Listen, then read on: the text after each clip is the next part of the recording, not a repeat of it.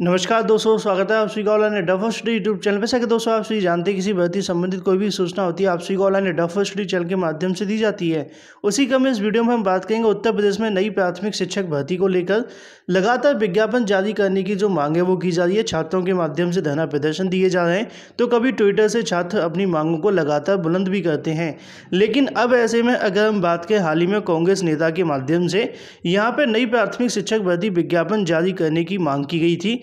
जिसको लेकर सीएम योगी को पत्र भी भेजा गया था। तत्काल विज्ञापन जारी करने को भी कहा गया था। लेकिन उसके बाद हम आगे की अपडेट कवर करें। उससे पहले जल्दी से कर दो वीडियो को लाइक साथ में शेयर और चैनल को सब्सक्राइब करना बिल्कुल ना भूलें, जिससे किसी प्रकार की ऑथेंटिक जानकारियाँ आप सभी को मिलती रहें।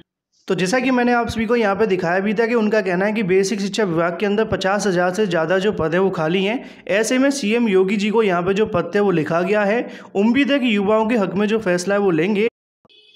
और जल्दी जो प्राथमिक शिक्षक भर्ती का विज्ञापन है, वो जारी किया जाएगा। उसी को लेकर यहाँ पे आप सभी को जो पत्र देखने के लिए मिलेगा, दस छः दो हज़ार इक्कीस को पत्र लिखा गया था, जो कि उत्तर प्रदेश कमेटी के माध्यम से देखने के लिए मिलता है। लेकिन अब ऐसे में बड़ी अपडेट आप सभी के सामने आती है कि कांग्रेस प्रदेश अध्यक्ष, अगर हम बात करें, अजय कुमार लल्लू को पुलिस ने अरेस्ट कर लिया है।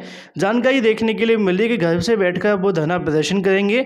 लगातार सरकार की कहीं ना कहीं बढ़ते हुए बेरोजगारी को लेकर, बेरोजगार मुद्दे को लेकर, या फिर अगर हम बात बात करें पेट्रोल, डीजल, गैस के दामों को लेकर उनके माध्यम से लगातार यहाँ पर धरना प्रदर्शन किया जा रहा था। ऐसे में सीएम योगी को नई प्राथमिक शिक्षक भर्ती को लेकर पत्र भी भेजा गया था। इससे पहले जमीनी स्तर पर उनके माध्यम से प्रदर्शन भी किया जा रहा था, जैसा कि आप सभी देख पाए कि यूपी में अगर बात करें, कांग्रेस के माध्यम से पेट्रोल, डीजल की बढ़ती कीमतों को लेकर प्रदेशव्यापी प्रदर्शन कर रही थी। इसी क्रम में अगर बात करें, पेट्रोल पंप पर जाकर जब समर्थकों के साथ में प्रदर्शन करने जा रहे थे तो इससे पहले सरकारी आवास पर बाहर तैनात लखनऊ पुलिस ने उन्हें समर्थकों के साथ हाउस अरेस्ट कर लिया है। और उसके बाद उन्होंने अपने घर से बैठ कर ही धरना प्रदर्शन भी दिया, लेकिन ऐसे में उनके माध्यम से यहाँ पर जानकारी दी गई, ट्वीट करके कि लगातार अपनी जो मांग है वो सरकार के सामने रखी जाएँगी, लगातार जो आंदोलन है वो जारी रहेगा, जैसा कि आप सभी देख पा रहे हैं।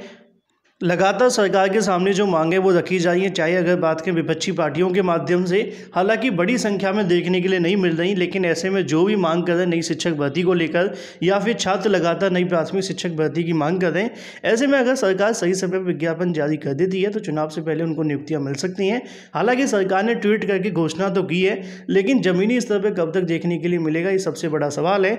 ऐसे में ये हो जाती है दोस्तों अभी अभी की लेटेस्ट अपडेट। वीडियो पसंद आए, वीडियो को लाइक कर दें, साथ में शेयर कर दें, और चैनल को सब्सक्राइब करना बिल्कुल ना भूलें। फ्लैश वीडियो के माध्यम से इतना ही। Thank you for watching this video